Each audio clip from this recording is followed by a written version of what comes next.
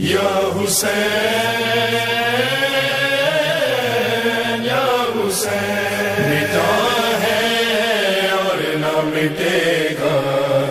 کبھی پیام حسین۔ بسم اللہ الرحمن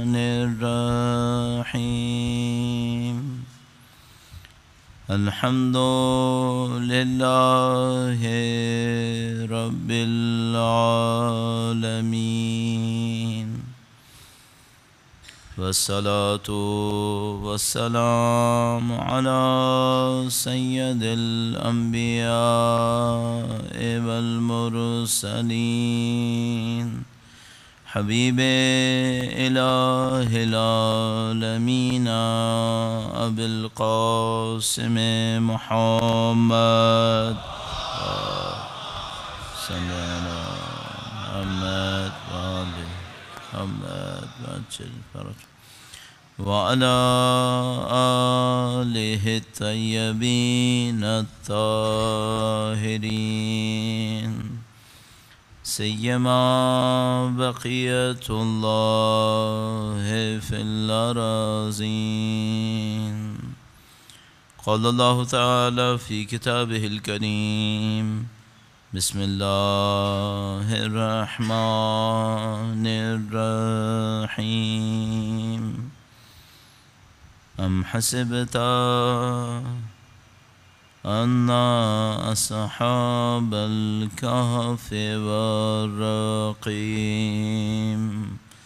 كانوا من آياتنا عجبا. درود بھیجے محمد و آل محمد صلی اللہ محمد. محمد معجل فرجہ پروردگار عالم کا انتہائی لطف و کرم، انتہائی احسان ہے۔ اس نے اس دنیا کے اندر زندگی گزارنے کے لیے بہترین راستہ بیان فرمایا ہے۔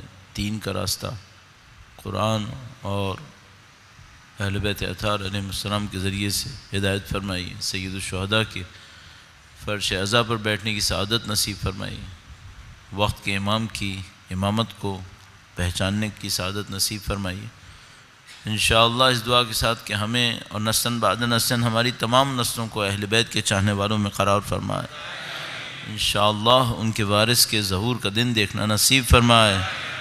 ان کی نصرت اور ان کی نصرت کی راہ میں شہادت نصیب فرمائے انشاءاللہ۔ تمام دعاؤں کی قبولیت کے لیے نظر لطف اہل بیت اطہار علیہ السلام کی خاص نظر کرم کو حاصل کرنے کے لیے درود بھیجیں۔ محمد و آل محمد۔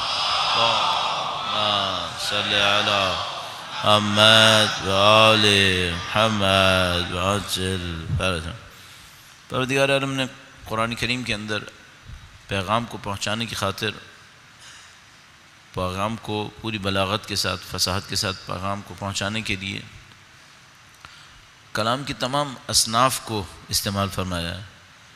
لہذا کہیں پر قرآن کریم میں حکمت ہے، کہیں پر قرآن کریم میں واقعہ بیان ہوا ہے، کہیں پر قرآن کریم نے مثال کا سہارا لیا۔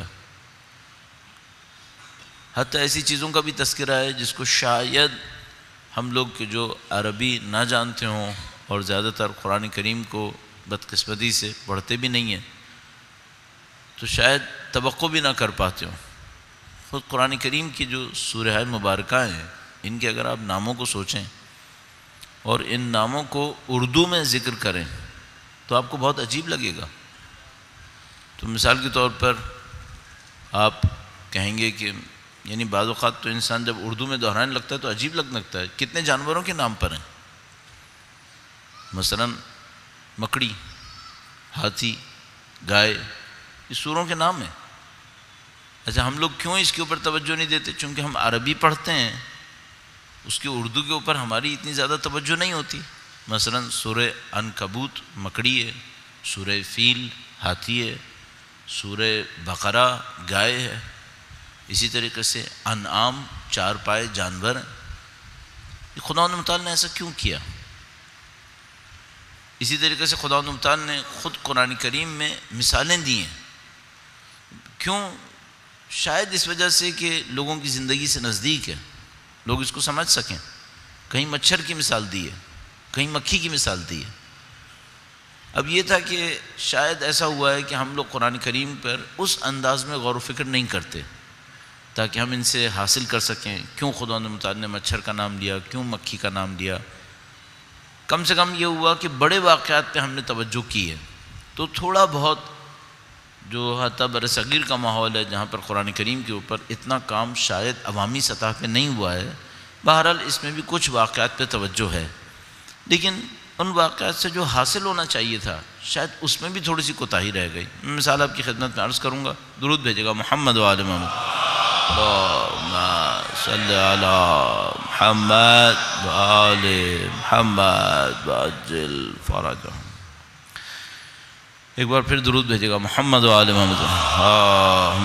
صلی محمد محمد فرج یہ ہم لوگوں کا مائک کے ساتھ رشتہ بڑا عجیب ہے۔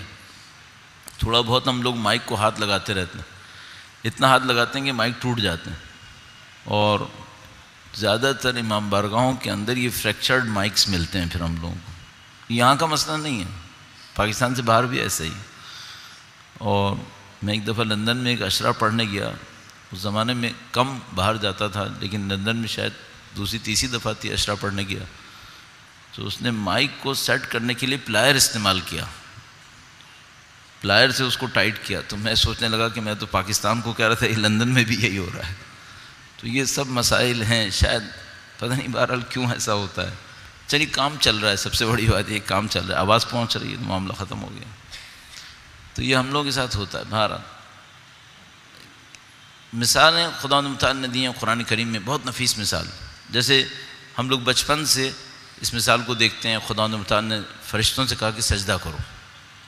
اب اس میں کے اوپر، اس کے اوپر کافی گفتگو ہوئی بھی ہے۔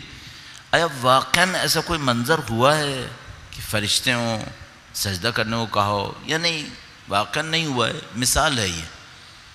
قرآن کریم نے مثالوں سے بہرحال سمجھا ہے وہ تلکل امثال نظر بحال الناس لعلہم متفکرون ہم یہ مثالیں دیتے ہیں لوگوں کے لیے تاکہ شاید وہ سمجھیں۔ تو بعض لوگ یہ کہتے ہیں کہ بھئی آیا یہ مثال ہے یا یہ واقعہ ہے۔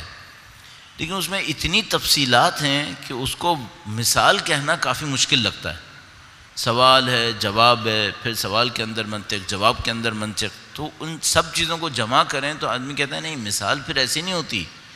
مثال تو پھر مثال کے طور پر خدا تعالیٰ نے فرمایا کہ لون ضنحاد القرآن علی جبن لرأیتہ خاشعا متصدعا من خشیت اللہ، اس کے بعد فرمایا وہ تلک الامثال نضربها للناس۔ ہاں یہ بات ہوئی۔ اگر ہم اس قرآن کو پہاڑ پر نازل کرتے تو تم دیکھتے کہ وہ کیسے اللہ کی خوف و خشیت سے چکنا چور ہو جاتا۔ پھر فرمایا، ہم مثالیں دیتے ہیں۔ تو یہاں مثال سمجھ میں آتی۔ لیکن مثلا حضرت آدم علیہ السلام کا فرشتوں کے سامنے آنا اور فرشتوں کا سجدہ کرنا، اس کا بھی مثال ہونا وہ ذرا مشکل لگتا ہے۔ اب وہاں پہ جو سوال جواب ہوا، اس میں بہت خوبصورت درس ہیں ہمارے لیے، بہت تفصیلی درس ہیں۔ میں صرف ایک پہلو پہ آپ کی خدمت میں عرض کروں گا۔ اور مجھے یاد ہے کہ ہم لوگ کبھی جب اس واقعے کے اوپر گفتگو کرتے کرتے تھک جاتے تھے، تو ہم لوگ یہ سوچتے تھے کہ شاید اس واقعے سے ہمیں زیادہ کچھ حاصل نہیں ہو پائے گا۔ اور کبھی شاید ہم اس سے اچھے نتائج حاصل نہیں کر پائیں گے، اس میں پیچیدگیاں بہت زیادہ ہیں۔ لیکن بس ایک پہلو آپ کی خدمت میں عرض کروں۔ اب دیکھیے کہ جب خدا نمطان نے کہا کہ بھئی آدم کو سجدہ کریں فرشتے، فرشتوں نے جو سوال کیا وہ انداز کیا ہے۔ اور شیطان نے جو اعتراض کیا، فرشتوں نے بھی گویا اعتراض کیا ہے کہ بھئی ہم نصب ہو وہ نقدس و لک ہم بھی تیرے لیے تسبیح کرتے ہیں، ہم بھی تیرے لیے تقدیس کرتے ہیں۔ تو یہ کیوں خلافت کا اہل قرار پایا؟ فرشتوں نے بھی گویا کہ اعتراض کیا ہے۔ اچھا شیطان نے بھی اعتراض کیا۔ شیطان نے بھی کہا کہ بھئی اس کو تم نے کیوں بنایا؟ اچھا اب دونوں کا سوال کیا ہے؟ دونوں کی دلیل کیا ہے؟ دونوں کا سوال کیا ہے؟ دونوں کی دلیل کیا ہے؟ اور خدا کا جواب کیا ہے؟ اگر ہم اس کے اوپر تھوڑا غور کریں تو ہمیں دنیا میں دیکھنے کے دو انداز ملیں گے۔ اب اس کو اس طرح سے دیکھتے ہیں۔ جب شیطان نے اعتراض کیا تو شیطان نے یہ کہا کہ یہ مٹی سے بنا ہے، میں آگ سے بناؤں۔ تو شیطان کے اعتراض کی بنیاد کس پر ہے؟ میٹر کے اوپر، مادے کے اوپر۔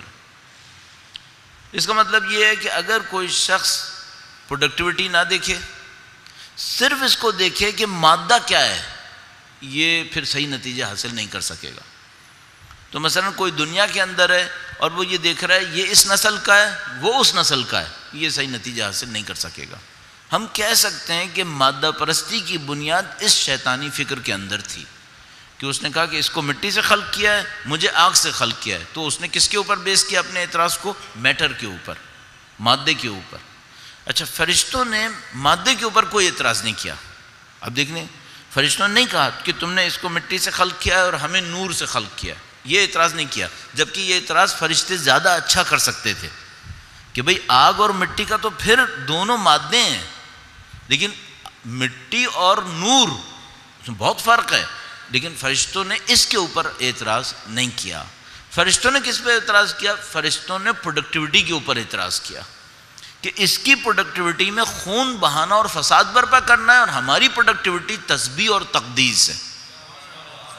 صحیح دو دو دیکھنے کے انداز پتہ چلتے ہیں۔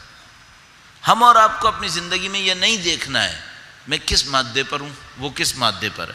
اس کے پاس کتنا مادہ ہے، میرے پاس کتنا مادہ ہے۔ یہ شیطانی طرز فکر ہے۔ فرشتوں کا طرز فکر کیا ہے؟ فرشتوں کا طرز فکر یہ اس کی پروڈکٹیوٹی میں فساد ہے، خون ریزی ہے اور ہماری پروڈکٹیوٹی کے اندر تسبیح ہے اور تقدیس ہے۔ تو انہوں نے جو اعتراض کی بنیاد بنائی، وہ مادے پہ نہیں بنائی۔ بلکہ فعالیت کے اوپر بنائی۔ اس کی فعالیت یہ ہے، ہماری فعالیت یہ ہے۔ اس کے بعد یہاں پہ سوال اٹھتا ہے کہ انہوں نے یہ جو فعالیت کا فرق جانا، یہ کیسے جانا؟ ان کو کیسے پتا چلا؟ دو جواب دیتے ہیں، کہتے ہیں کہ بھئی چونکہ پہلے شاید حضرت آدم سے پہلے کچھ مخلوقات رہی ہوں گی، جس کو دیکھ کر انہوں نے یہ سوچا۔ دوسرا جواب یہ دیتے ہیں، اب یہ ناقابل قبول حالت میں آ گیا۔ درود بھیجے گا محمد وال محمد۔ اس کو ہاں، اس کو دلا کر میں شاید چھوٹی چھوٹی باتوں پہ زیادہ غور کرتا ہوں، مجھے اتنا غور نہیں کرنا چاہیے۔ تو فرشتوں کا جو اعتراض تھا، وہ مادے پہ نہیں تھا پروڈکٹیوٹی پہ تھا۔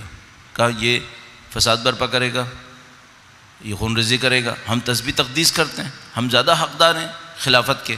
البتہ فرشتوں نے ادب یہ دکھایا کہ باقی جملہ نہیں کہا کہ ہم زیادہ حقدار ہیں۔ نہیں نہیں۔ ان کا نہیں، یہ خدا کے سامنے ہمیں یہ احانت نہیں کرنی، بدتمیزی نہیں کرنی۔ تو فرشتوں نے بس اتنا کہا کہ خدا تو ذرا دیکھ لے۔ ہم تسبیح تقدیس کرتے ہیں، یہ تو خون بہاتا ہے، فساد برپا کرتا ہے۔ بس اتنا کہا۔ شیطان نے بدتمیزی دکھائی۔ شیطان نے سوال نہیں کیا، ڈائریکٹ اعتراض کیا۔ فرشتوں نے دبے لہجے میں سوال کیا۔ یہ بہت امپورٹنٹ پوائنٹ تھا۔ شیطان نے اعتراض کیا، فرشتوں نے در حقیقت سوال کیا۔ اعتراض بھی نہیں کیا۔ فرشتوں کا سوال جاننے کے لیے تھا، شیطان کا سوال تکبر کے لیے تھا۔ اس کے لیے تکبر کے لیے تھا۔ یہ خدا کو پسند نہیں ہے۔ فرشتوں کا سوال مادے پہ تھا، شیطان کا سوال فرشتوں کا سوال پروڈکٹیوٹی کے اوپر تھا۔ اچھا۔ اچھا فرشتوں نے پروڈکٹیوٹی کا یہ گیپ کیوں ڈھونڈا؟ کہاں سے پتہ چلا؟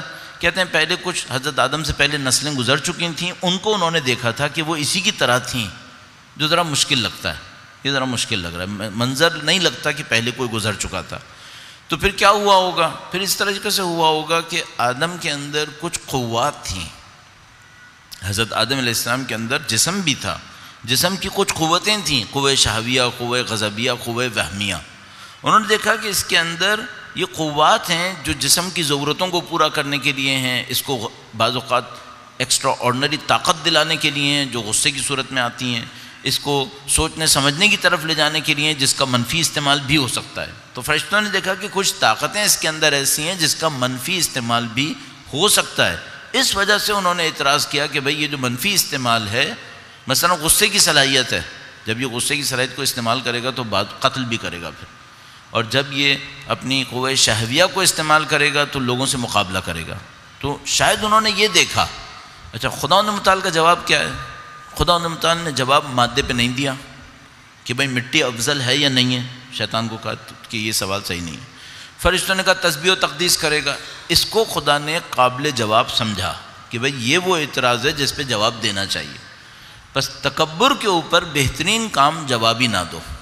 تکبر کا جواب نہیں، تکبر کا جواب ہی نہیں، کوئی ختم ہو گیا معاملہ۔ اس کے مقابلے میں اگر کوئی کچھ سمجھنے کے لیے سوال کر رہا ہے، اس کا جواب خدا نے دیا۔ اور جواب خدا نے کس سے دیا؟ خدا نے کہا تم نے اس کے اندر قوات دیکھی ہیں، شہویہ، غضبیہ، وہمیہ، اس کا خون ریزی، فساد برپا کرنا دیکھا ہے، لیکن ہم نے اس کی عقل دیکھی ہے۔ ہم نے اس کی عقل دیکھی ہے۔ اس عقل کا منبع کیا تھا؟ اس عقل کو ریفلیکٹ کیا خدا نے علم کے ذریعے سے۔ فرمایا، ہم نے اس کے اندر علم رکھا ہے۔ اس علم کے ذریعے سے یہ یہ کرے گا۔ صحیح ہے؟ اچھا اب صرف یہ دیکھنا ہے کہ فرشتوں نے دیکھا کہ قوات کے ذریعے سے یہ زمین پہ فساد برپا کرے گا، خون بہے گا۔ خدا نے کیا دکھایا؟ علم کے ذریعے سے کیا کرے گا؟ فرمایا، خدا نے علم کے ذریعے سے ہمارے لقا تک پہنچے گا۔ لقاء اللہ تک پہنچے گا یہ۔ صحیح۔ ہے اب ہم انسان تین گروہوں میں بٹ گئے۔ جو اس تکبر میں پھنس گئے کہ ہم کون ہیں، وہ شیطان کے راستے پہ چلے۔ جو شہوات کے پیچھے گئے وہ خون ریزی اور فساد میں چلے گئے۔ جنہوں نے اپنی عقل کے ذریعے سے شہوتوں کو کنٹرول کیا، وہ لقاء اللہ کی طرف گئے۔ اس واقعے سے یہ درس ملتا ہے۔ زندگی کے لیے لائن آف ایکشن بناؤ۔ اگر خدا نہ کہ ناؤز باللہ تکبر کی طرف گئے، راستہ شیطان کا ہے۔ اگر اس طرف گئے کہ میرے اندر جسم ہے، مجھے جسم کی خواہشات چاہیے، میرے اندر غیظ و غضب ہے، مجھے طاقت چاہیے، میں مکاری کروں ناؤز باللہ تعالیٰ، دوسروں کو چھوٹا ثابت کروں، تو یہ راستہ خون رضی اور فساد کا راستہ۔ تیسرا راستہ کیا ہے؟ خدا نے تمہیں عقل دی ہے، خدا نے تمہیں علم دیا ہے۔ اس عقل اور اس علم کو استعمال کرو، تزکیہ نفس کرو اور جو خدا نے فرمایا کہ ایک مرحلہ آئے گا جب تم مجھ سے مل جاؤ گے، لقاء اللہ۔ انا للہ و انا الیہ راجو کاش کبھی ہم لوگوں کے پاس موقع ہو تو ہم اس آخری حصے کو اچھی طرح سمجھنے کی کوشش کریں۔ الیہ راجعون ہے کیا؟ اب ہم لوگوں کے پاس ایک سادہ سا نسخہ ہے، وہ کیا؟ موت۔ الیہ راجعون یعنی موت۔ لہذا جب کوئی مرتا ہے ہم کہتے ہیں انا للہ و انا الیہ راجعون۔ یہ جو موت آئی ہے، یہ رجوع تو ہے۔ یہ اس نے رجوع کیا ہے یا خدا نے اس کو بلا لیا ہے؟ یہ جو موت ہے، یہ اس نے رجوع نہیں کیا ہے۔ یہ تو خدا نے اس کو بلایا ہے۔ الیہ راجون میں ہم نے رجوع کرنا تھا۔ وہ جو تھا انا للہ و انا الیہ راجعون۔ ہم نے اس کی طرف پلٹنا ہے، نہ کہ وہ ہم سے کہ واپس آؤ، تم کہاں جا رہے تھے؟ ہم نے پلٹنا تھا۔ اس کو فرماتے ہیں کہ مرنے سے پہلے مرو۔ اس کو فرماتے ہیں کہ موت آنے سے پہلے مر جاؤ تم لوگ۔ کیا مطلب مر جاؤ؟ موت آنے سے پہلے خدا کے نزدیک جا چکے ہو تم لوگ۔ اب ہم خدا کے نزدیک جائیں گے کیسے؟ راجون ہوگا کیسے؟ یہی خواہشات پہ کنٹرول کر کے۔ خواہشات پہ کنٹرول کریں گے، عقل کے ذریعے سے آگے بڑھیں گے، نفس کا تذکیہ کریں گے، تو ہمارا رجوع خدا کی طرف ہوگا۔ اور پھر یہ ہے کہ پھر امام فرماتے ہیں، مجھے کیا پرواہ کہ میں موت پر آؤں یا موت مجھ پہ آئے؟ کیوں؟ میں تو اسی طرف جا رہا ہوں۔ بھائی، جو آدمی پہلے ہی راہ پہ چل رہا ہے، اس کو کیا فرق پڑا کہ موت آئی یا نہیں آئی؟ وہ تو گامزن اسی راستے پر ہے۔ یہ تو ہماری مشکل ہے کہ ہم دنیا کے اندر پھنسے ہوتے ہیں، اچانک موت آتی ہے اور کہتی ہے، تم کہاں پھنس گئے تھے؟ تم نے تو وہاں جانا تھا۔ وہ آدمی پہلے سے ہی وہیں جا رہا ہے۔ تو اب وہ کہتے ہیں کہ ہمیں کیا فرق پڑا کہ موت ہم پر آئے یا ہم موت پر آئے؟ ہم ہم تو وہیں پہ ہیں۔ بلکہ وہ وہاں جا نہیں رہے، وہ وہاں پہنچے ہوئے ہیں۔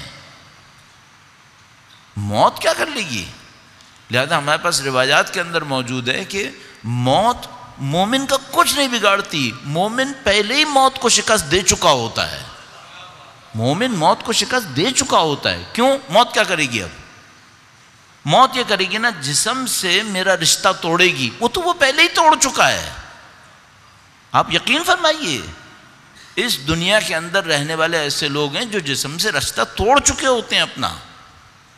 موت بعد میں آتی ہے، وہ پہلے اپنا کام کر چکے ہوتے ہیں۔ قطعی ثبوت آپ کی خدمت میں عرض کروں گا، قطعی چیزیں ہیں یہ۔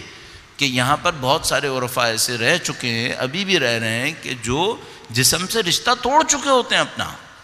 جب چاہیں گے توڑ لیں گے۔ تو جو موت نے بڑا کمال کرنا تھا کہ جسم سے رشتہ توڑنا تھا، ان کو ایک مثالی بدن دکھائی دیتا کہ ہم ہیں اور اب مثالی بدن ہے، یہ تو یہ پہلے کر چکے ہیں۔ لہٰذا امام خمینی اپنی کتاب میں فرماتے ہیں مات کے اندر کہ کچھ انسان ایسے ہیں جو نہ صرف وہ کر چکے ہیں جو دنیا میں کرنا تھا۔ پھر موت آنی تھی اور بدن سے رشتہ ٹوٹنا تھا، یہ کر چکے۔ عام انسانوں نے برزخ میں جا کر کچھ اسائنمنٹ پورے کرنے تھے، کام کرنے تھے، وہ وہ بھی کر چکے۔ نہ صرف وہ کر چکے جو دنیا میں کرنا تھا کہ جسم سے آزاد ہو گئے برزخی جسم سے نزدیک ہو گئے۔ یہ تو وہ کر چکے۔ پھر برزخی جسم میں جو کچھ کرنا تھا، وہ وہ بھی کر چکے۔ تو اب جب ان پہ موت آتی ہے تو کیا ہوتا ہے؟ یہ بالکل ایسے ہی جیسے کوئی آدمی پی ایچ ڈی کر چکا ہے، اسکول اب میٹرک کی سرٹیفکیٹ اس کے ہاتھ میں پکڑاتا ہے۔ وہ کہتا ہے کہ ٹھیک ہے، چلو یہ بھی دے دو۔ یہ میرا تو پی ایچ ڈی پہلے سے ہو چکا ہے۔ تو جب اس کو موت آتی ہے تو صرف یہ ہوتا ہے کہ اس کو برزخ میں بھیجا جاتا ہے۔ وہاں پتہ ہوتا ہے کہ بھائی، یہ تو دنیا کا بھی کام نپٹا چکا ہے، برزخ کا کام بھی نپٹا چکا ہے۔ اس کو یہاں کیوں لائے ہو؟ اس کو ڈائریکٹ بھیجو محشر کے اندر۔ معاملہ ختم ہو چکا ہے اس کا تو۔ لہٰذا ان کی برزخ دو تین دن لکھی ہے روایات میں۔ ان کی برزخ دو تین دن کی ہوتی کیوں؟ جو دنیا میں تھا وہ کر چکے، جو برزخ میں کرنا تھا وہ بھی یہیں نپٹا چکے۔ کر چکے یہ سب کچھ۔ یہ کون لوگ ہیں؟ یہ وہ لوگ ہیں جنہوں نے لقاء اللہ کو یہاں دریافت کر لیا ہے۔ یہ وہ ہدف اولا تھا کہ جو وہ وہاں پہ کرنا تھا ان کو، وہ یہ یہاں پہ کر گئے۔ ساری دنیا مرے گی، برزخ میں جائے گی، برزخ سے مرے گی، محشر میں جائے گی تب وجہ اللہ کے سامنے ہے۔ یہ لوگ یہیں سب کچھ نپٹا چکے ہیں۔ یہ لوگ کون لوگ ہیں؟ یہ وہ لوگ ہیں جن سے کسی اللہ کے رسول نے پوچھا تمہارے یقین کی حالت کیا ہے؟ اس نے کہا، میں عرش خدا کو اپنی آنکھوں سے دیکھا جی بھائی، عرش خدا کو خلائق نے محشر میں دیکھنا ہے۔ ابھی تم تو دنیا میں رہ رہے ہو۔ میں عرش عرش خدا کو محشر نے خلائق خلائق نے محشر میں دیکھنا ہے۔ یہ لوگ یہاں دیکھ رہے ہیں۔ ایزان محترم، ہم لوگ پیچھے رہ جائیں گے اگر ہمیں پتہ نہیں چلا کہ یہاں کیا ہو رہا ہے۔ ہم لوگ پیچھے رہ جائیں گے۔ اچھا ہم لوگ کیا سمجھ رہے ہیں؟ پانچ رکت دس رکت نمازیں پڑھنی ہے، معاملہ ختم۔ ہم بہت پیچھے رہ گئے۔ ہمیں گیم ہی پتہ نہیں چلا، اس کا مطلب ہے۔ ہمیں پتہ ہی نہیں چلا کہ یہاں لوگ کر کیا رہے ہیں۔ تو پھر راجون کیسے ہوگا؟ ہم سمجھ رہے ہیں وہ ایک فرشتہ آئے گا، ملک الموت، وہ ہمارے سر پہ جب مارے گا اور کہے گا، چلو اٹھو، یہاں سے چلو۔ یہ ہو گیا راجون بھائی، یہ تو زبردستی کا لے کے گئے ہیں وہ۔ ہمیں خود جانا تھا۔ انا الیہ رج ہم نے اس کی طرف جانا۔ ہے تو عزیزان محترم، رجوع کیسے ہوگا؟ رجوع ایسے ہوگا کہ بھائی، ہم اپنی نفسانی خواہشات کو کنٹرول کریں گے۔ اس عقل اور اس شعور کے ذریعے سے جو خدا مطالعہ نے ہمیں دیا ہے، تزکیہ نفس کے ذریعے سے، پھر خدا ہماری عقل کو خود علم کا ذریعہ قرار دے گا۔ پھر اس عقل کے اوپر علم اترے گا، جس کو ہم نے قلب تعبیر کیا۔ پھر وہ علم ہمیں لے کے آگے بڑھے گا اور اس علم کے اندر بڑھنا جو تھا وہ یقینی ہوتا چلا جائے گا۔ تو ایک دفعہ اچھی طرح وقت لگا کے اس کو سمجھیں کسی طرح سے۔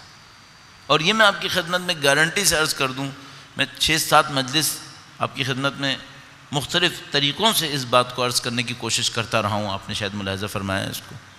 یہ سسٹم سمجھنا بہت ضروری ہے۔ ورنہ زندگی ناؤز باللہ بیکار ہو جائے گی۔ ہم لوگ ادھر ادھر ہاتھ پاؤں مارتے رہ جائیں گے۔ میں عرض کر رہا ہوں، ہم لوگوں کی جد و جہد ابھی کس میں پڑی ہوئی ہے؟ یہ کہ پانچ وقت کی نمازیں پڑھ لو، تیس دن روزہ رکھ لو، معاملہ ختم۔ یہ تو جہنم سے بچنے کے لیے ہے۔ یہ تو صرف جہنم سے بچنے کے لیے ہے۔ اچھا وہ نمازیں بھی کیسی ہیں؟ وہ روزے بھی کیسے ہیں؟ وہ نمازیں بھی کیسی ہیں؟ میں نے آپ کی خدمت میں عرض کیا۔ ابھی فاتحہ پڑھی، کہا اے دن سرات المستقیم۔ کل آپ کی خدمت میں سرات مستقیم عرض ہوا تھا۔ ابھی جو فاتحہ پڑھی، اس میں سوچا تھا سرات مستقیم۔ مشکل ساری یہ بھائی جب سوچیں گے ہی نہیں، غور ہی نہیں کریں گے، مانگیں گے ہی نہیں، تو نصیب کیسے ہوگا؟ سل انسان علامہ سا یہ سب کو سمجھیں کہ کیا ہو رہا ہے یہاں پر، کس طرف آگے جانا ہے، تب معاملہ آئے گا کہ نصیب ہوا یا نہیں ہوا۔ جب مانگے گا نہیں، من جدہ وجد، جو طلب کرتا ہے، وہ پاتا ہے۔ طلبگار ہوں خدا ان مطالعے کے سامنے، خدا طلب کر رہے ہیں تجھ سے۔ تو نصیب ہوتا ہے انشاءاللہ۔ تو چند روز آپ کی خدمت میں حاضر ہوئے، نہج و بلاغہ کے سلسلے میں آرائش پیش کیے۔ اور اس سلسلے میں ہم نے عرض کیا کہ ہمیں قوانین کو جاننے کی ضرورت ہے، اس حقیقت کو سمجھنے کی ضرورت ہے جو دنیا کے بارے میں ہے۔ تو اس کو مختلف انداز میں نہج و بلاغہ کے مبارک نورانی کلمات کے ذریعے سے آپ کی خدمت میں عرض کیا۔ اور اس میں کئی خطبے مورد بحث آئے۔ اب یہ تھا کہ یہ جو ان کا تربیتی نظام ہے، اہل بیت کا ایک پورا تربیتی نظام ہے، جس کو میں نے عرض کیا آپ کی خدمت میں، علم اخلاق اس کی ذمہ داری لیتا ہے۔ ایک دفعہ اخلاقی نصیحتیں ہوتی ہیں جو میں اور آپ پڑھتے ہیں۔ اخلاقی نصیحتیں ایک چیز ہوتی ہے، علم اخلاق ایک اور چیز ہوتی ہے۔ وہ کیسے؟ بھائی مثلا فرض کیجیے آپ کو تین چار کیمیکلز کے بارے میں پتہ چل گیا۔ تین چار کیمیکلز کے بارے میں پتہ چل گیا۔ تو کیا یہ سائنس آف کیمسٹری آپ کو پتہ چل گئی؟ نہیں، تین چار کیمیکلز پتہ چلیں سائنس آف کیمسٹری علیحدہ ہوتی ہے، وہ پوری سائنس ہے۔ مثلا مجھے ایک دو اسٹارز پتہ چل گئے، تو ایسٹرونومی پتہ چل گئی ساری۔ نہیں، ظاہر ہے۔ ایک دو نصیحتیں پڑھ لینا ایک علیحدہ معاملہ ہے۔ علم اخلاق، ایک علیحدہ معاملہ۔ ہے آپ کو علم اخلاق دیکھنا ہے۔ علم اخلاق دیکھیے، مثال کے طور پر عروج السعادہ کے اندر۔ عروج السعادہ کتاب ہے، علم اخلاق پہ لکھ علم اخلاق پر ہے، نہ اخلاقی نصیحتوں پر۔ علم اخلاق کے اوپر۔ مثلا امام خمینی کی چہل حدیث، چار پانچ حدیثیں جو شروع کی ہیں، وہ دیکھیں علم اخلاق اس کے اندر سمرائز ہوا ہوا۔ ایک دفعہ اچھی طرح یہ علم آئے۔ اس میں یہ ساری چیزیں ڈسکس ہوتی ہیں کہ بھئی انسان کے اندر کیا ہے؟ جو جو میں نے قوات شہویہ، غضبیہ، وہمیہ عرض کیا، عقل کا کردار کیا ہے؟ جو میں نے مسلسل آپ کی خدمت میں کئی دفعہ عرض کیا، عقل عملی قلب بن جاتی ہے۔ وہ قلب ریفلیکشن کر رہا ہوتا ہے۔ پھر اس میں جو علم ملتا ہے، وہ کرنا نہ کرنا نہیں ہوتا، صرف کرنا ہوتا ہے۔ وہ ایسا علم ہوتا ہے۔ ہمیں اس کی ضرورت ہے۔ ہم بہت کچھ جانتے ہیں، کرتے نہیں ہیں۔ تو یہ سب عرائض آپ کی خدمت میں عرض کی جو تربیتی نظام ہے، یہ بڑا کامیاب تربیتی نظام ہے۔ اس تربیتی نظام نے حضرت ابو ذر جیسے بنایا۔ اس تربیتی نظام نے کمال کر دیا۔ اور وہ اس طریقے سے کہ حضرت ابو ذر علیہ السلام مثلا اللہ نے سب کے اوپر سلام کہا ہے۔ یہ ہم لوگ کیا دشواری ہے۔ ہم لوگ یہ نہیں سمجھتے، علیہ السلام السلام علیکم، ان میں فرق کیا ہے؟ تو کبھی اہل سنت اور ہم اس بات کے اوپر الجھتے رہتے ہیں کہ وہ السلام علیکم کہتے ہیں، ہم کہتے ہیں سلام علیکم۔ دونوں بالکل ایک بات ہے۔ لیکن پتہ نہیں کیوں اس پہ الجھتے رہتے ہیں۔ مثلا جب ہم کہتے ہیں، علیہ السلام، ان پر سلام ہو اور آپ کہتے ہیں، السلام علیکم۔ السلام علیکم کا مطلب ہے تم پر سلام، علیہ السلام کا مطلب ہے ان پہ سلام۔ تو السلام علیکم کہنے کے لیے نبی چاہیے کیا؟ نہیں، آپ کو میں کہوں گا، السلام علیکم، تم پر سلام۔ تو اگر میں کسی صحابی کو کہہ دوں علیہ السلام، تو وہ کہے گا نہیں، اس کو رضی اللہ کہنا ہے۔ ارے بھائی، کیا مسئلہ ہے؟ عام انسانوں کو تو سلام کیا جا سکتا ہے، تو اس کے اوپر سلام نہیں کیا جا سکتا۔ یہ کوئی فرق ہی نہیں ہے۔ لیکن پتہ نہیں کیوں بس چل رہا ہے یہ معاملہ۔ اس قسم کی بہت ساری چیزیں چل رہی ہیں۔ حضرت ابو ذر مکتب اہل بیت کی تربیت یافتہ ہیں۔ حضرت ابو ذر نے بے پناہ مشکلات اٹھائی ہیں اب آپ اس معاملے کے اندر جب حضرت ابو ذر کی شخصیت کو سمجھنے لگتے ہیں تو ایک منظر ہے حضرت ابو ذر کی زندگی میں۔ میرا اپنے خیال ہے کہ شاید یوں میں سوچتا ہوں کہ شاگرد مکتب اہل بیت ہونے کے ناطے یہ حضرت ابو ذر کی زندگی کا انعام تھا۔ انعام کا دن تھا۔ وہ کون سا دن تھا؟ جب حضرت ابو ذر علیہ السلام کو خلیفہ سالس کی زمانے کی کرپشن پر اعتراض کرنے پہ مدینے سے باہر نکالا گیا۔ کہا کہ آپ مدینے سے باہر نکل جائیں۔ شام بھیج دیا گیا، جلا وطن کر دیا گیا۔ دو دفعہ جلا وطن کیا، ایک دفعہ شام، ایک دفعہ ربضہ۔ ایک دفعہ جب ان کو جلا وطن کرنے لگے تو کہا گیا کہ کوئی ابو ذر کو خدا حافظ کہنے نہ جائے۔ اس زمانے میں دستور یہ تھا کہ ایک آدمی کہیں شہر سے باہر جا رہا ہوتا تھا تو لوگ اس کو خدا حافظ کہنے کے لیے دور تک جاتے تھے۔ تو جو کوئی، مثلا اس زمانے میں باعزت، باشرافت انسان ہوتا تھا، اس کو خدا حافظ کہنے کے لیے زیادہ لوگ جاتے تھے۔ اور مثلا کوئی آدمی انون ہوتا تھا وہ چلا جاتا تھا اس کا پتہ بھی نہیں چلتا تھا۔ اب حضرت ابو ذر کا ایک مقام تھا۔ جو پوری حکومت تھی، اس کو پتا تھا کہ ابو ذر جب جائیں گے تو کافی لوگ پیچھے جائیں گے خدا حافظ کہنے کے لیے۔ اور یہ سب کا سب حکومت پہ اعتراض میں تبدیل ہو جائے گا۔ گویا اینٹی گورنمنٹ ایک ریلی بن جائے گی اگر سب لوگ خدا حافظ کہنے گئے۔ تو انہوں نے اعلان کیا کہ کوئی ابو ذر کو خدا حافظ کہنے نہیں جائے گا۔ جب یہ اعلان کیا تو خود امیر المومنین امام حسن اور امام حسین کے ساتھ الوداع کہنے گئے باہر۔ درود بھیجے گا محمد و عالم صلی علی محمد آل محمد وعجل بلا شک و شبہ ہم کہہ سکتے ہیں کہ کفر پیچھے رہا اور کل ایمان خدا حافظ کہنے گیا۔ کل ایمان خدا حافظ کہنے گیا۔ اب میں سمجھتا ہوں یہ حضرت ابو ذر کے زندگی میں انعام کا دن تھا۔ اس واقعے نے حضرت ابو ذر کے مقام کو پوری دنیا کے سامنے واضح کر دیا کہ بھائی یہ ابو ذر کون ہے؟ کل ایمان یہاں پر ہے۔ اس کو خدا حافظ کہنے آیا خود امیر المومنین اور دو فرزند امام تشریف لائے ہیں خدا حافظ کہنے کے۔ کیا ارشاد فرمایا؟ ایک خطبہ اس موقع پر امیر المومنین نے ارشاد فرمایا۔ سید الشہدہ نے بھی کلمات ارشاد فرمائے۔ گویا امام حسن مشتبہ علیہ السلام والسلام، انہوں نے بھی ارشاد فرمائے، خود امیر المومنین نے خطبہ ارشاد فرمایا، وہ خطبہ میں آپ کی خدمت میں عرض کر رہا ہوں، اس میں ہمیں نظر آتا ہے وہ ہمیں کہاں پہنچانا چاہ رہے ہیں، وہ ہم سے کیا چاہتے ہیں۔ اپنے شاگرد کو کہاں دیکھنا چاہ رہے ہیں۔ درود بھیجے گا محمد وال محمد۔ صلی اللہ محمد۔ ایک بار پھر درود بھیجے گا محمد وال محمد۔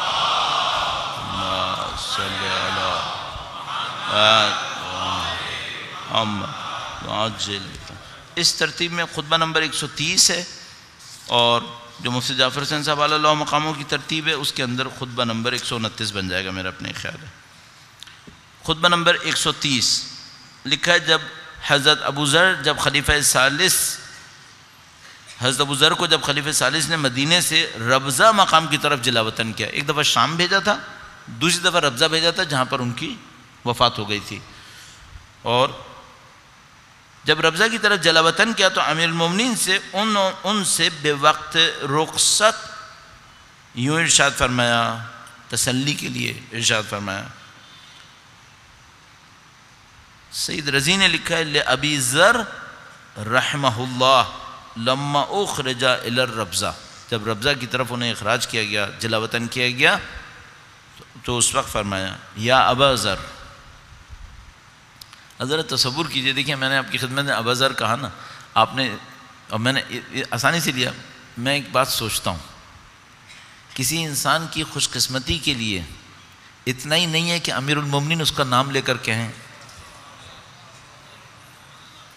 آپ ذرا تصور کریں۔ واقع میں سوچتا ہوں ہم لوگوں کے لیے آسان ہے۔ یعنی ہم لوگ شاید نہیں درک کر پا رہے، لیکن ذرا تصور کریں، امیر المومنین کسی کو نام لے کر کہیں ابو ذر۔ اللہ اکبر یہ توجہ ہم شاید نہیں سمجھ پا رہے، یہ کہ انسان کامل کسی انسان پہ توجہ دے دے۔ آپ اور میں ہیں، ہم لوگ کہاں ہیں؟ آپ تصور کریں، اگر انسان کامل وقت نے، وقت کے امام نے آپ کے چہرے کو ایک دفعہ نظر ڈال کے دیکھ لیا، آپ کا میرا معاملہ یہیں پہ پورا ہو جائے گا۔ نظر لطف چاہیے جو میں آپ سے بار بار عرض کرتا ہوں مجلس شروع ہونے میں، ان کی نظر لطف ایک دفعہ بھر کے نظر ڈال دی ہم لوگوں کے اوپر۔ انسان کامل ہے۔ یہ جو فرشتے سجدہ کر رہے تھے، یہ حضرت آدم علیہ السلام کو انسان کامل ہونے کے ناطے سجدہ کر رہے تھے۔ ہر انسان کامل اسی مقام پر ہوتا ہے۔ وقت کے امام انسان کامل ہیں۔ یہ مقام عظمت کچھ اور ہے۔ جو سعید امین مولا امین مومنین نے فرمایا کہ میں وجود کی چکیوں پارٹ ہوں جس کے اوپر چکی وجود کی گھومتی ہے۔ ینحدر عن السیل ولا یرقع الی التیر وجود کے چشمے مجھ سے جاری ہوتے ہیں۔ یہ جو کائنات کی چکی کا پارٹ ہے، یہ ابو ذر کو دیکھے اور کہے، یا ابا ذر۔ مقام ہے پھر یہ۔ یا ابا ذر، انکا غزبتا للہ۔ فرجو من غزب تلا۔ اب دیکھیے گواہی دی ہے۔ فما اے ابو ذر، تم نے جو غیظ و غضب دکھایا وہ اللہ کے لیے تھا۔ تو تم اسی سے امید لگاؤ جس کے لیے تم نے غیظ و غضب دکھایا۔ یہ گواہی پوری ہو گئی۔ افضل الاعمال الحب للہ والبغض للہ۔ بہترین عمل یہ، محبت اللہ کے لیے کرو، غیظ و غضب اللہ کے لیے دکھاؤ۔ امیر المومنین نے گواہی دی تھی۔ فرمایا، انکا غضبتا للہ۔ نہیں کہا، اگر تم نے غضب خدا کے لیے دکھایا۔ نہیں۔ فرمایا، نہیں، میں گواہی دے رہا ہوں۔ انکا غضبتا للہ۔ ابو ذر، تم نے غیظ و غضب اللہ کے لیے دکھایا ہے۔ گواہی پوری ہو گئی۔ فرجو فرجو من غزب تلا اسی سے امید لگاؤ، جس کے لیے غز و غضب دکھایا۔ ان القوم خافو کا اللہ دنیا ہم اللہ دنیا ہوں وہ خیفتہ ہوں اللہ دین کا یہ جو لوگ ہیں، یہ تم سے ڈر رہے ہیں اپنی دنیا کے لیے۔ یہ ڈر رہے ہیں کہ تم ان سے دنیا چھین لو گے اور تم کس بات پر ڈر رہے ہو کہ یہ کہیں تمہارا دین نہ چھین لیں معیار کون کس چیز کو دفاع کر رہا ہے؟ یہ دنیا کو دفاع کر رہے ہیں، تم دین کا دفاع کر رہے ہو۔ ایزان محترم، جب یہ لوگ ہم شیعہ قوم کے اوپر مار رہے تھے نا، تو مجھے ایک بات قطعی ذہن میں تھی، اور سب کے ذہن میں تھی، وہ یہ کہ نہ ہم زمین کے لیے مر رہے ہیں، نہ پیسے کے لیے مر رہے ہیں، ہم حب حسین میں مر رہے ہیں۔ جیت ہماری ہے، انہوں نے ہار نہیں ہارنا ہے، ہم امام حسین کے لیے مر رہے ہیں۔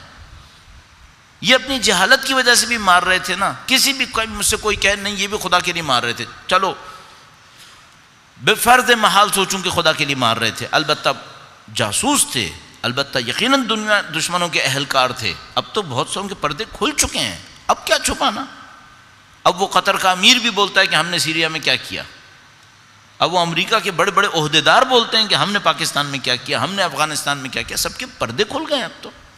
اور خود پاکستانی حکومت کی اسٹیبلشمنٹ بتاتی ہے کہ کس نے شیعت کے خلاف کیا کیا جو راول پنڈی میں عاشورہ کے سانے میں ہوا، خود اسٹیبلشمنٹ نے بتا دیا۔ چلو میں کہتا ہوں کسی نے ہمیں مارا، اس نے کسی بھی قص سے مارا، ہم کیوں مر رہے تھے؟ ہم امام حسین کے نام پہ مر رہے تھے۔ یہ جیت ہے ہماری۔ ہم زمینوں پہ نہیں مرے، ہم ملکوں پہ نہیں مرے، ہم دولتوں پہ نہیں مرے، ہم خاندانوں پہ نہیں مرے، ہم پرچم حسین پہ مرے۔ ختم۔ جیت ہماری ہے۔ اس سے مجھے قطعاً پتا تھا اور آپ کو بھی پتا ہے، الحمدللہ ہم سب لوگ مطمئن تھے کہ ٹھیک ہے، جسم تو کاٹ سکتے ہو، ہرا نہیں سکتے تم لوگ ہمیں۔ دیکھو، ہم لوگ ہیں۔ لبیک یا حسین، لبیک یا حسین، لبیک یا حسین، لبیک یا حسین، لبیک یا حسین۔ پروردگار، انشاءاللہ نصرت اور زیادہ نصیب فرمائے، انشاءاللہ تعالی۔ تو ان کا معیار یہ تھا آپ کا معیار یہ تھا، جیت آپ کی جب تک آپ اس حق پر ہیں، صرف ایک محنت کرنی چاہیے۔ اب مجھے اس کو بہت احتیاط سے کہنا ہے۔ صرف ایک محنت کریں۔ خلوص کم نہ ہو۔ یہ بڑی مصیبت ہے۔ خلوص کم نہ ہو۔ جیسے ہی خلوص کے علاوہ کچھ اندر آتا ہے، یہ سمجھنے شکست کا پروپورشن بڑھنا شروع ہو گیا۔ جتنی ملاوٹ شکست کا احتمال اتنا ہی زیادہ۔ یہ بڑی مشکل ہے یہاں پر۔ ہماری جو مشکل ہے وہ یہ نہیں ہے کہ ہم اپنے نظریے، فکر، اصول، منطق کے اوپر رہے تو کیا ہوگا؟ نہیں، یہ نہیں ہے۔ ہماری مشکل یہ ہے کہ جب اس میں ملاوٹ ہوتی ہے تو کیا ہوگا؟ ہم لوگ ادھر مار کھاتے ہیں۔ ہمیں کوئی اس فکر کے اوپر نہیں مار سکتا۔ یہ میں آپ کو گارنٹی سے عرض کروں، آپ بھی جانتے ہیں، ہم بھی جانتے ہیں، چودہ سو سال سے دیکھا ہے۔ ہم لوگ صرف مشکل میں اس وقت پڑھتے ہیں جب ہمارے خلوص میں کمی آتی ہے۔ اس کو سنبھالنا ہماری ذمہ داری ہے۔ باقی تو سب کچھ بھی نہیں ہے پھر۔ ان القوم خافو کا اللہ دنیا ہوں یہ جو قوم ہے، یہ اپنے، اپنی دنیا کے لیے تم سے خوف کھاتی ہے۔ وہ خفت ہم اللہ دین کا اور تم ان کے بارے میں کیا خوف کھاتے ہو؟ کہ کہیں تمہارا دین نہ خطرے میں پڑ جائے۔ اس کے بعد فرمایا فترک فی ایدیہم ما خافو کا علیہ ان کے ہاتھ میں وہ بلا چھوڑ دو جس کے لیے یہ تم سے ڈر رہے ہیں۔ یہ کیا ڈر رہے ہیں؟ دنیا کے لیے۔ ان کی دنیا ان کے منہ پہ مارو۔ فترک، ترک کر دو۔ فی ایدیہم ان کے ہاتھوں میں۔ ما خافو کا علیہ جس کے لیے یہ تم سے ڈر رہے تھے۔ واہرب منہم بما خفتہم علیہ تمہیں جس چیز کا خوف تھا، اسے لے کے تم چلے جاؤ۔ تمہارا دین محفوظ ہے۔ امین ممنین نے گواہی دے دی۔ دو گواہی ہو گئی۔ ایک گواہی یہ دی کہ اب تک جو تم نے کیا وہ خدا کے لیے تھا۔ دوسری یہ گواہی دی کہ ابو ذر ربضہ چلے جاؤ، تمہارا دین محفوظ ہے۔ یہ ابو ذر کے انعام کا دن ہے۔ یہ ان کی عظمت کا پرچم ہے۔ اب ذرا تصور کیجیے، دنیا کو کیا نظر آ رہا ہے؟ دنیا کو ایک بےکس انسان نظر آ رہا ہے۔ جو ایک انتہائی چموش وحشی اونٹ کے اوپر بندھا ہوا ہے اسارت میں۔ اور اس کو خدا حافظ کہنے کے لیے کوئی نہیں آیا۔ دنیا کو یہ نظر آیا۔ ہے اور جو ہمیں اب سمجھ میں آ رہا ہے وہ یہ کہ ایک آدمی ہے، ایک انسان، ایک عظیم الشان ہستی، جس کے صداقت پہ تین معصوم گواہی دینے آئے ہیں۔ اور امام اول نے کہا کہ اب تک جو تم نے کیا وہ خدا کے لیے تھا اور دین کے لیے تھا اور تم جہاں بھی جاؤ تمہارا دین محفوظ۔ اور کیا چاہیے انسان کو؟ اس لیے میں کہہ رہا ہوں یہ ان کے انعام کا دن تھا۔ البتہ ہمیں آنکھیں کھولنی پڑیں گی تاکہ ہمیں دیکھیں انعام کیا تھا۔ فما احرجہم الى ما منعتہم وما اغناکا اما منعوک فرمایا، یہ جس سے ڈر رہے ہیں نا تمہارے بارے میں دنیا ان کے، ان کو چھوڑ دو۔ تم اپنا دین لے کے جاؤ۔ اس کے بعد فرمایا، ذرا دیکھو کہ جو تم لے کے جا رہے ہو، جو تم چھوڑ کے جا رہے ہو، اس سے تم بے نیاز ہو۔ اور جو تم لے کے جا رہے ہو، اس کے یہ کتنے محتاج ہیں۔ تم کیا چھوڑ کے جا رہے ہو؟ دنیا، جس کے تم بے نیاز ہو۔ اور جو تم لے کے جا رہے ہو، وہ دین ہے جس کے یہ محتاج ہیں۔ اب امام ایک اور جملہ فرما رہے ہیں۔ آپ آپ کے ذہن میں ہوگا، قاضی شرح کو لکھا تھا کہ تم نے قناعت کی عزت ترک کی اور طلب کی ذلت لے لی۔ امام فرما رہے ہیں، ابو ذر، یہ جو تم جا رہے ہو نا خالی ہاتھ، تم غنی ہو۔ اور یہ جو یہاں بیٹھے ہیں، بھرے ہوئے ہاتھ، یہ سب کے سب محتاج ہیں۔ جیت بھی تمہاری غنا بھی تمہاری۔ ایزان محترم، میں صرف ایک بات کہوں گا، ہمارے اندر اتنی بصیرت ہے کہ ہم پہچان سکیں۔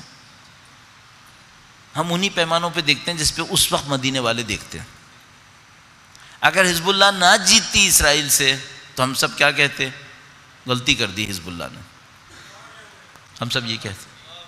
اگر خدا نے کہ ناؤز اللہ تعالیٰ جمہوری اسلامی کو کچھ ہو جاتا، تو ہم کہتے، دنیا میں ان سے لڑ ہی نہیں سکتے، ان وحشیوں سے۔ ہم بھی اسی طرح دیکھتے ہیں جس طرح دنیا دیکھتی ہے۔ ہمیں نہج البلاغہ سے یہ بصیرت لینی پڑے گی کہ وہ کیسے دیکھتے تھے چیزوں کو۔ دیکھیے ایسے دیکھتے تھے۔ پیمانہ کچھ اور ہے۔ دیکھنے کا انداز کچھ اور ہے۔ یہ ہمیں سیکھنا پڑے گا۔ میں آپ کی خدمت میں شروع سے عرض کر رہا ہوں، نہج البلاغہ سے واقعات نہیں سیکھنا ہے۔ نہج البلاغہ سے قوانین نکالیں۔ ٹرمنالوجیز جو امام کی اصطلاحات ہیں، اس کو سمجھنے کی کوشش کریں۔ عزت کسے کہتے ہیں؟ غنا کسے کہتے ہیں؟ فرمایا، جو تم لے کے جا رہے ہو، جو تم چھوڑ کے جا رہے ہو، اس کی تمہیں کوئی ضرورت نہیں، تم غنی ہو۔ ما اغنا کا اما منعوک، جس سے یہ تمہیں روک رہے تھے نا، اس سے تو تم غنی ہو۔ اور جو تم لے کے جا رہے ہو، اس کے یہ محتاج ہیں۔ تو تم غنی ہو، یہ محتاج ہیں۔ گرچہ تمہارے ہاتھ میں کچھ نہیں ہے، لیکن تم غنی ہو۔ وہ ستالمو من راب غدن و اکثر و حسدا۔ جلد ہی پہچان لیے جائیں گے کہ کس نے فائدہ اٹھایا ہے اور کس کی شہرت زیادہ ہے۔ سمجھ جلدی پہچان دیں گے۔ کس نے فائدہ اٹھایا ہے اور کس کو دیکھ کر رش کرنے والے زیادہ ہیں۔ کون مروان پہ رش کرے گا؟ کون مروان پہ رش کرے گا؟ ابو ذر پہ دیکھو۔ ہر آدمی رش کرے گا۔ جو نہیں مانتا منصب امامت اور عصمت کو، وہ بھی رش کرے گا ابو ذر کے اوپر۔ یہ مقام دیکھیے امام نے فرمایا تھا، یہ پیشن گوئی بھی کر دی کہ ابو ذر، یہ تم کیا لے کے جا رہے ہو؟ تم تم ان کی دنیا اپنا دین بچا کے جا رہے ہو نا؟ تم غنی ہو۔ اب دیکھیے انہوں نے سزا دے کر کیا کیا تھا؟ سزا دے کے ابو ذر کو جلا وطن کیا تھا تاکہ وہ اکیلا پڑا رہے، تاکہ وہ فقیر ہو جائے۔ امام نے فرمایا، نمبر ایک، تم نے خدا کے لیے کیا تھا۔ امید خدا پہ رکھو۔ تم غنی ہو یہ فقیر ہیں۔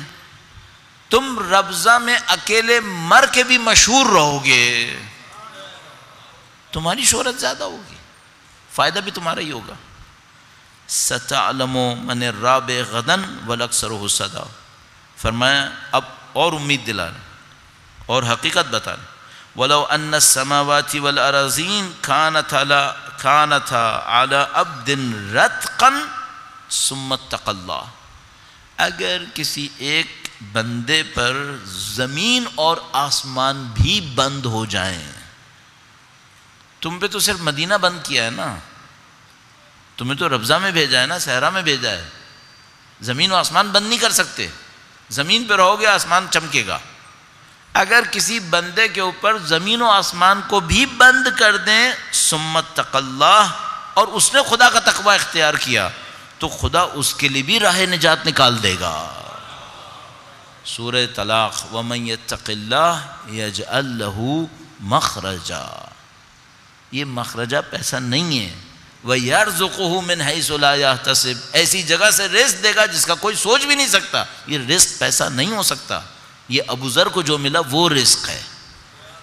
جو تقوی، امام فرما رہے ہیں، جو تقوی اختیار کرے، زمین و آسمان اس کے اوپر بند کر دو، وہ تقوی اختیار کرے۔ خدا مخرج نکالے گا۔ خدا راستہ نکالے گا۔ ولا یون سن کا الحق۔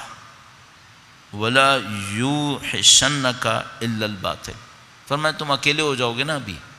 ربضہ جاؤ گے، اکیلے رہ جاؤ گے۔ اکیلا انسان وحشت کرتا ہے۔ میں اکیلا رہ گیا۔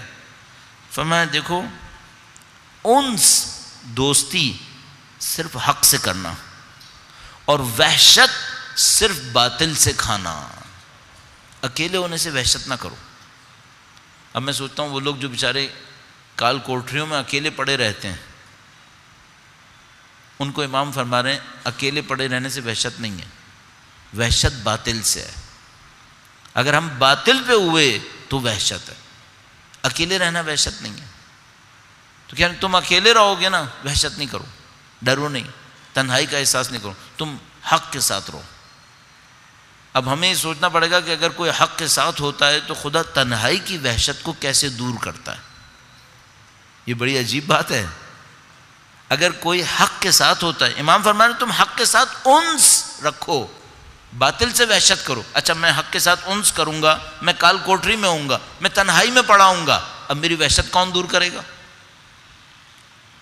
اب خود خدا دور کرے گا۔ خود خدا دور کرے گا۔ اتنا تمانینہ اور سکینہ نازل کرے گا۔ اتنا اطمینان اور سکون نازل کرے گا اس آدمی کے اوپر کہ یہ وحشت نہیں کرے گا۔ خوش رہے گا۔ یہ جو شہید ہو جاتے ہیں نا، یہ کام یہ بھی کرتے ہیں۔ یہ بھی شہید ہونے کے بعد بھی یہ دوسروں کی وحشتوں کو دور کر سکتے ہیں۔ یہ تو حضرت ابوذر کا معاملہ ہے، جو زندہ زندہ شہادتوں سے بڑے مقامات لے چکے تھے۔ تو وہ ان کو وحشت نہیں ہونی تھی، ان کے لیے خدا نے بڑے بندوبست کیے ہوئے۔ لا یون سن کا الحق، حق کے سوا کسی چیز سے دوستی مت کرو۔ ولا یو ہے شن کا الباطل باطل کے سوا کسی چیز سے وحشت نہ کرو۔ فلو قبل تھا دنیا ہم لحبو کا اگر دنیا والوں کی محبت کی بات کرتے ہو نا، یہ کس بات پہ تمہیں پسند کر لیتے؟ اگر تم ان کی دنیا میں شریک ہو جاتے۔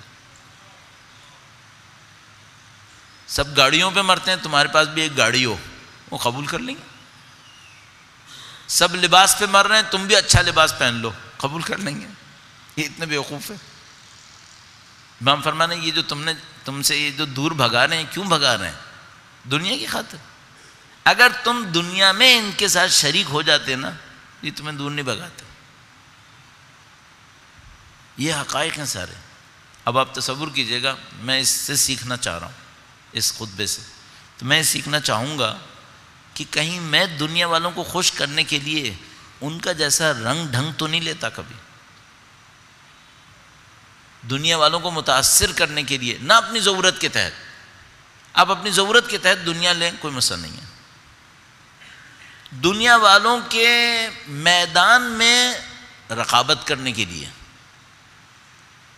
اگر میں نے اتنا سا بھی کوئی کام دنیا والوں کی رقابت میں جا کر کیا، میں اہل دنیا ہوں۔ ضرورت ہے آپ کی گاڑی لیں، ضرورت ہے آپ کی گھر بنائیں، ضرورت ہے آپ کی ضرور کریں، ضرورت ہے، کر لو۔ لیکن رقابت میں کی تو پھر تو آپ اہل دنیا ہو آپ کا معاملہ اور میرا معاملہ اہل دنیا میں ہو جائے گا۔ ہمیں بہت غور کرنا پڑے گا۔ بعض اوقات ہم لوگ، میں جملہ عرض کروں آپ کی خدمت میں، بعد، بعض اوقات ہم لوگ اسلام بولتے ہیں، قارون سوچتے ہیں۔ اسلام بولتے ہیں؟ قارون سوچتے ہیں۔ شاید تھوڑی سی تلخی لگے۔ پڑھنے والے کو بھی اس کو سوچتے ہیں جس کے پاس شہرت زیادہ ہے۔ بھائی، یہ فرعونی سوچ ہے۔ شہرت کو حق کا معیار بنا رہے ہو۔ فرعونی سوچ ہے یہ۔ بولتے اسلام ہو، سوچتے فرعون ہو۔ بولتے اسلام ہو۔ مجلس پڑھ رہا ہے۔ اسلام بول رہا ہے اور سوچتا کیسے ہے؟ سوچتا یہ پیسہ کتنا ملے گا؟ یہ قارون ہو تم۔ بولتا اسلام ہے، سوچتا فرعون ہے۔ بولتا اسلام ہے، سوچتا قارون ہے۔ اور لوگ بھی شریک ہو جاتے ہیں اسی کے ساتھ۔ یہ کون سا اسلام ہے جو اندر سے قارون ہے؟ یہ کیسے اسلام ہو سکتا ہے؟ اہل بیت اطہارہ علیہ السلام نے ہمیں یہ اسلام دیا ہے۔ یہ ویلیوز دی ہیں۔ ہم لوگوں کے ساتھ مبہم جو رہ گیا ہے، ہمیں واقعات پتہ ہیں، ان کی ویلیوز نہیں پتہ۔ کام کریں ویلیوز کے اوپر، تاکہ انشاءاللہ خدا نصرت نصیب فرمائے۔ اور البتہ ایک بات طے شدہ ہے، جس کسی نے واقعات سے بڑھ کر ویلیوز پہ کام کیا، اس کی زندگی سخت ہے۔ زندگی سخت ہے۔ مصیبتیں اٹھانی پڑتی ہیں۔ وہ بھی گزر جاتی ہیں۔ خدا ان نے سختیاں رکھی ہیں آسانی کے لیے۔ فَأَمَّا آتا و تقا وَاتَّقَى وَصَدَّقَ بِالْحُسْنَى فَسَنُيَسِّرُهُ لِلْيُسْرَى۔ جو دے اللہ کی راہ میں تقوی اختیار کرے، نیکی کی تصدیق کرے، تینوں کو ہمیں سمجھنا پڑے گا کبھی کہ اس کا مطلب کیا ہوا۔ آتا، دے وَاتَّقَى تقوی اختیار کرے صدق بالحسنہ، نیکی کی تصدیق کرے۔ فَسَنُيَسِّرُهُ لِسْرَا تو ہم آسانی کے لیے اس کو اور آسانی دے دیں گے۔ لیکن اس کے اگر خلاف کیا، اما من بخلا واستغنا وکذب بالحسنہ فَسَنُيَسِّرُهُ، اس کو بھی ہم آسانی دیں گے۔ لیکن کس کے لیے؟ اس کو ہم دھکیل دیں گے سختی کی طرف۔ اس کو آسانی دیتے تھے، آسانی کی طرف۔ اس کو دھکیل دیں گے سختی کی طرف۔ یہ پیسہ جمع کر کر کے سمجھتا رہے گا، زندگی اچھی گزرے گی، کبھی نہیں گزرے گی۔ باخلا وستغنا وکذب بالحسن۔ اور وہ وہ دیتا رہے گا تقوی میں بڑھاتا رہے گا اور اس کی زندگی کو ہم آسانی کی طرف بھیجتے رہیں گے۔ مزے کرے گا۔ یہ کبھی مزے نہیں کرے گا۔ یہ ہمیشہ زندگی میں سختی میں پڑا رہے گا۔ اور یہ ہم اپنی آنکھوں سے دیکھ سکتے ہیں کہ بھئی معاشرے کے اندر کیا ہو رہا ہے۔ ایزان محترم، معیار ہمارے سامنے۔ ہر چیز ہمارے سامنے، الحمدللہ رب العالمین۔ یہ چند روز نہج البلاغہ کی حقیقت یہ ہے کہ خدمت میں ہونا سعادت ہے۔ نہج البلاغہ ہماری زندگیوں کو تبدیل کر سکتی ہے۔ جس طرح مولا امیر مومنین کی عظیم الشان ہستی نے کروڑوں انسانوں کو تبدیل کیا۔ جس طرح مولا امیر مومنین کی عظیم الشان ہستی نے حضرت ابو ذر جیسے لوگ بنائے اور مسلسل تربیت کا وہ عمل جاری ہے۔ ہمیں اور آپ کو اس میں شرکت کرنی ہے سر۔ کسی طریقے سے اس کاروان کے اندر شامل ہونا ہے۔ سید الشہدہ کے نام میں یہ جذابیت ہے۔ سید الشہدہ کا نام لوگوں کو جذب کر لیتا ہے اس کاروان کی طرف۔ کہ دنیاؤں سے نکلو، دیکھو کربلا میں کیا ہو رہا ہے۔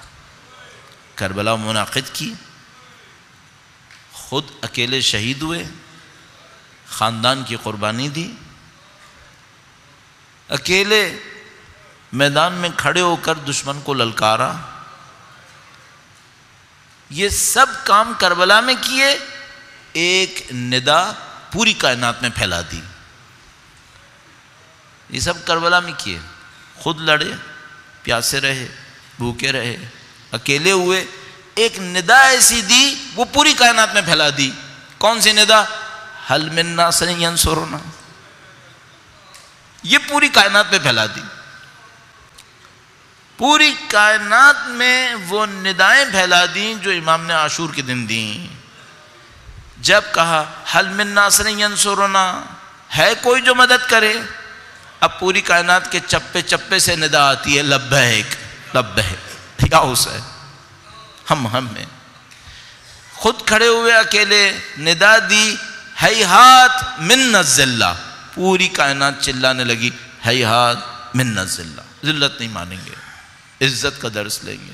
لیکن سید الشہدہ نے یہ سب کچھ قربانیوں کے ساتھ کیا۔ سید الشہدہ نے یہ سب کچھ کیا قربانیوں کے ساتھ۔ لیکن ایک عجیب لطف ہے۔ حتیٰ جب قربانیاں دے رہے تھے، تب بھی ان کی سوچ رہے تھے جو بعد میں آئیں گے۔ یہ بڑا عجیب لطف ہے۔ بڑا عجیب کرم ہے سید الشہداء کا۔ ایک طرف سے وہ منظر ہے ہمارے سامنے۔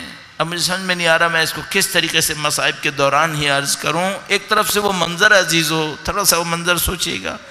جب بی بی زینب سلام اللہ علیہ سید الشہداء کے جسد اتھر پر پہنچی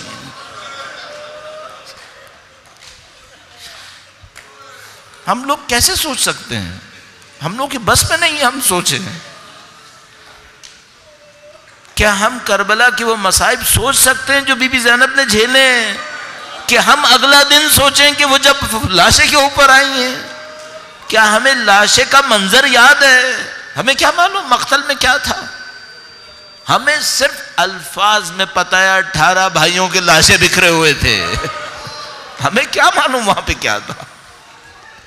ہمیں سید الشہداء کے لاشے کا کیا پتا سید الشہداء کے لاشے کے ساتھ کیا تھا؟ بی بی زینب سلام اللہ علیہ وہاں پہنچی ہیں۔